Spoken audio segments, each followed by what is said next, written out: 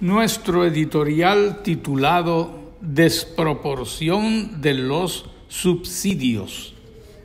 La subvención de alegado apoyo a la democrática existencia de los partidos políticos arrastra desde el principio el perfil de imperfección que sucesivamente le ha sido impresa para alimentar un bipartidismo con vuelco de recursos hacia los más votados, que por lo general son los más exitosos en captar respaldos constante y sonante.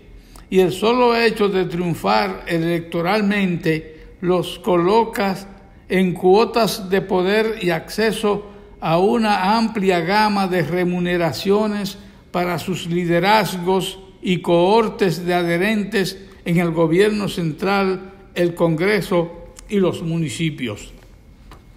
Bajo el esquema sin equidad, para favorecer a las cúpulas que se petrifican en ganar, ganar y prolonga permanencia en primeros lugares, está desalentada la diversificación del espectro partidista y siguen siendo echados en el mismo saco los mini partidos que se venden y logran posiciones sin méritos propios y los proyectos que nacen entregados al ejercicio contestatario raramente opuestos a las formas más desacreditadas de conquistar el respaldo de los dominicanos para las urnas.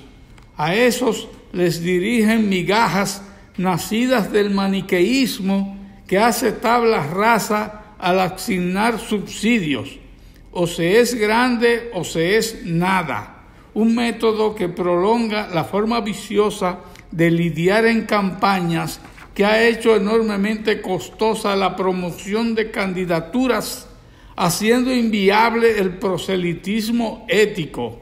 Así jamás se sacarán los pies del círculo vicioso que resta importancia al debate de ideas para subordinación al dinero.